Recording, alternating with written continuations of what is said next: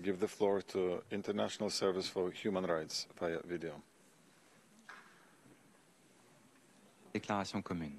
International Service for Human Rights et l'Alliance mondiale de l'albinisme tiennent à remercier l'experte indépendante pour son importante contribution à l'amélioration de notre compréhension des barrières auxquelles font face des personnes atteintes d'albinisme dans leur accès à l'éducation, ainsi qu'à l'identification de solutions pratiques pour surmonter ces obstacles.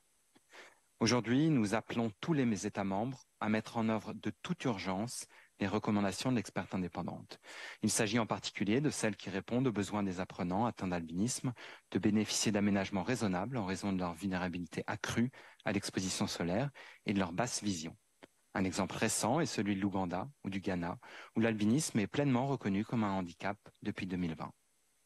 Comme le soulignent de nombreux rapports publiés précédemment dans le cadre de ce mandat, dans de nombreux pays du monde, les personnes atteintes d'albinisme font partie des plus pauvres et des plus exclues.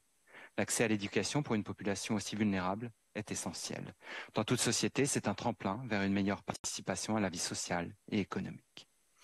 Enfin, bien que des progrès significatifs aient été constatés depuis la création du mandat en 2015, la jouissance des droits de l'homme par les personnes atteintes d'albinisme reste encore aujourd'hui une question très préoccupante dans de nombreux pays du monde. Par conséquent, le renouvellement du mandat est sans conteste une nécessité absolue. Merci.